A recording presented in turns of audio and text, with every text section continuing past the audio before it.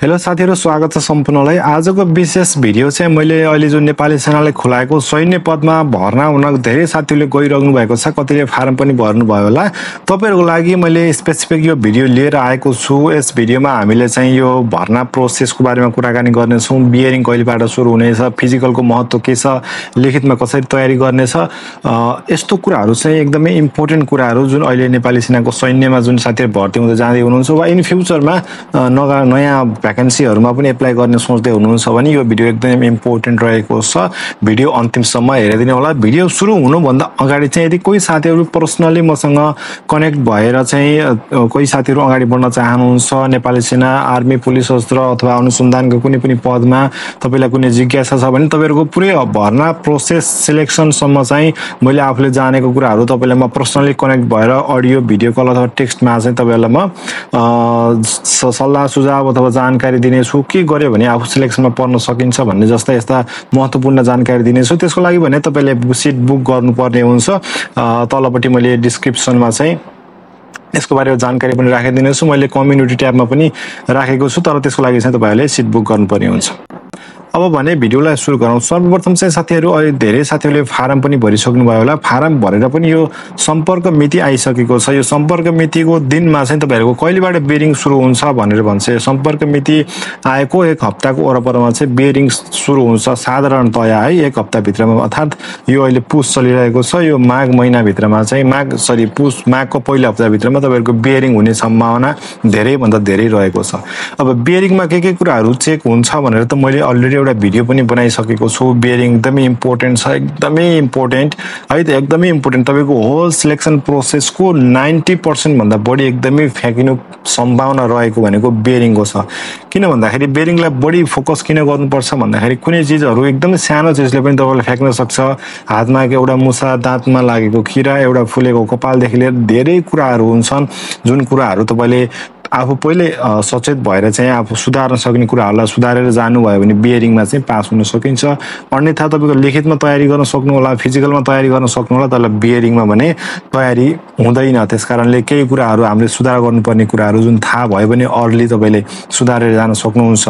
यी कुराहरू पनि मैले आफ्नो त्यो तपाईँले यदि सिट बुक गर्नुभयो भने म त्यसमा चाहिँ तपाईँहरूलाई पर्सनली कनेक्ट भएर आफ्नो सल्लाह सुझाव पर्सनली दिने नै छु। अब बियरिङमा पास हुनुभयो भने है बेरिङमा पास हुनको लागि प्रि मेडिकल चेकअप र केही फिजिकल क्राइटेरिया नेपाली सेनाले राखेको क्राइटेरिया छ त्यो चाहिँ पुरा हुनुपर्ने हुन्छ। जुन चाहिँ मैले अलरेडी भिडियो धेरै भिडियो हालिसकेको छु त्योसँग सम्बन्धित। फिजिकल पास भइसकेपछि फिजिकलको एक हप्ता म्याक्सिमम् एक हप्ता ग्याप है। फिजिकल सरी यो बियरिङ पास भइसकेपछि बियरिङको एक हप्ताको म्याक्सिमम् ग्यापमा तपाईँको फेरि चाहिँ सिटअप पुसअप चिनअप र तिन सय मिटर दौड एकै दिनमा हुन्छ। सिटअप पुसअप चिनअप र तिन सय मिटर दौड एकै दिनमा हुन्छ। त्यसपछि अर्को दिनमा चाहिँ हाम्रो लङ रनिङ दुई माइल अथवा three point two kilometre running चाहिँ हुन्छ। फिजिकलको इम्पोर्टेन्स चाहिँ के छ भन्दाखेरि जस्तै तपाईँ यदि अधिकृत क्यारियरमा जानुहुन्छ इन्सपेक्टरमा जानुहुन्छ भने यिनी पदहरूमा चाहिँ के छ त फिजिकलमा पास भइदियो हुन्छ यसमा कुनै पनि मार्क्स भने हुँदैन तर पास न्यूनतम हुनुपर्छ भने नेपाली सेनाको सैन्यमा चाहिँ तपाईँले गुड गर्नुहुन्छ कि एक्सलेन्ट गर्नुहुन्छ कि जस्ट पास हुनुहुन्छ यसको अङ्क राखिएको हुन्छ। मैले भिडियो पनि बनाएको छु तपाईँले मेरो पछिल्ला भिडियोहरू गरेर हेर्नुभयो भने चाहिँ के कति गर्नुपर्छ कति गऱ्यो भने एक्सलेन्ट आउँछ कति अङ्क पाइन्छ भनेर अलरेडी मैले भिडियो बनाइसकेको छु। तपाईँले त्यो चाहिन्छ भने पनि यो कुराहरू चाहिँ म आफ्नो पर्सनली तपाईँले सिट बुक गर्नुभयो भने पुरै कुरा म त राख्ने नै छु। त्यो त्योमा चाहिँ म कुनै पनि छुट्याउँदैन पर्सनली म तपाईँलाई फुल सपोर्ट चाहिँ त्यसमा गर्नेछु। यी कुराहरू फिजिकल भयो। फिजिकलको प्रिपेरेसनको लागि तपाईँले मिनिमम पनि दुई महिना चाहिँ दिनुहोस् भन्छु म। दुई महिना एक महिना चाहिँ दिनुहोस्। दुई महिना दिनुभयो भने सजिलै पास भइन्छ। त्यो फिजिकल भइसकेपछि चाहिँ अब हाम्रो लिखित परीक्षा हुन्छ। लिखित परीक्षाको लागि पनि यदि किताब किन्नुभएको छ भने चाहिँ किताबबाट पनि हुन्छ। हाम्रो सैन्य दर्पण र अथवा सैन्य परीक्षा सारथी दुईवटा बुक पाइन्छ। दुईवटा बुकमध्ये चाहिँ जुन किन्दा पनि एकदम राम्रो छ। बुक चाहिँ प्रिपेरेसन कम्ती पनि त्यो बुकलाई दुईचोटि पढेर सिधाइसकेको चाहिँ हुनु पऱ्यो मिनिमम पनि।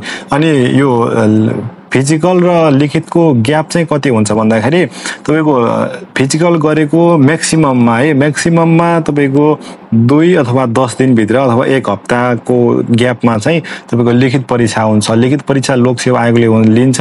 आफ्नो भर्ना केन्द्रको वरपर अथवा स्कुल विद्यालयहरूमा चाहिँ लोक सेवा आयोगले त्यसको लिखित परीक्षा सञ्चालन गर्छ। लिखित परीक्षाको लागि मैले भनिहालेँ बुकबाट प्रिपरेसन गर्नुभयो भने सैन्यको लागि मजाले पुग्छ। लिखित परीक्षाको नतिजा निकाल्ने क्रममा लिखित परीक्षाको रिजल्ट आउने क्रममा रिजल्ट उताबाट लोकसेवाले निकालिदिन्छ। लोकसेवा त चालिस आए पास हुन्छ तर मिनिमम पनि सिक्सटी सेभेन्टी ल्याउनु भयो भने सिलेक्सन ओभरअल सिलेक्सनमा फाइदा हुन्छ। किनकि कम्पिटिसन चाहिँ धेरै हुन्छ। कम्पिटिसन एकदमै धेरै मात्रामा हुन्छ। त्यसपछि तपाईँको ब्यारेकमा आउँछ। है ब्यारेकमा आइसकेपछि ब्यारेकले चाहिँ तपाईँको फिजिकल जुन सुरुको फिजिकल थियो त्यसपछि लिखितको गरेर ओभरअलमा चाहिँ नाम निकाल्छ। त्यति बेला नाम अब निकालेर पास भइसकेकाहरूलाई चाहिँ फेरि विस्तृत स्वास्थ्य परीक्षण भनेर फुल मेडिकल टेस्टको लागि पठाउँछ। फुल मेडिकल टेस्टमा चेस्टको एक्सरेदेखि लिएर यी कुराहरू जुन ब्लड टेस्ट युरिन टेस्ट यी कुराहरू चाहिँ हुन्छ नर्मल्ली। मेडिकल फुल मेडिकल टेस्टमा चाहिँ कमै मात्रामा साथीहरू फ्याँकिन्छन्। त्यसपछि फाइनल भनेको इन्टरभ्यू हुन्छ। इन्टरभ्यूको लागि चाहिँ धेरै टाइम लाग्दैन। त्यसमा खासै ग्याप हुँदैन। इन्टरभ्यूको लागि चाहिँ के कस्तो प्रश्नहरू सोधिन्छ मैले अलरेडी भिडियो बनाइसकेको छु इन्टरभ्यूको लागि। बाँकी कुराहरू मैले आफ्नो पर्सनली कनेक्ट हुनुभयो भने कुराहरू सबै कुराहरू समेट्ने छु